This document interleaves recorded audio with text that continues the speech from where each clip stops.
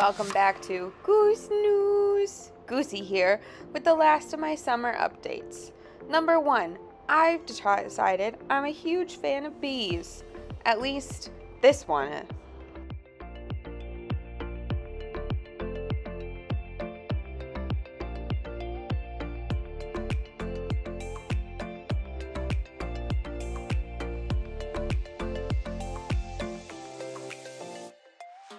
It's almost time for school, and my mom says that I need to do more things that challenge me so I can grow my brain. So, her new thing is that she'll take a box and she'll cut little holes in it, and then she'll put a bunch of treats underneath it. And I have to see if I'm smart enough to get the treats out. And I am every single time, even if it does take me a while.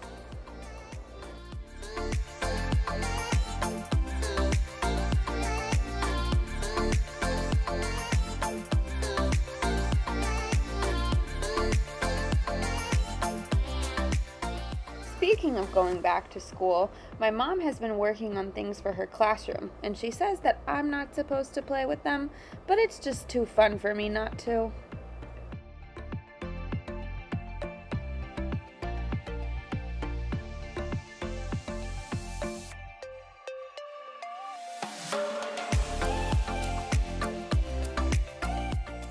Last but not least, my mom's summer school class told her that cats are supposed to be afraid of cucumbers.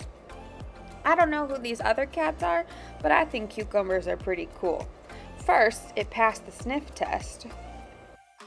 It was pretty fun to look at, and even more fun to chase.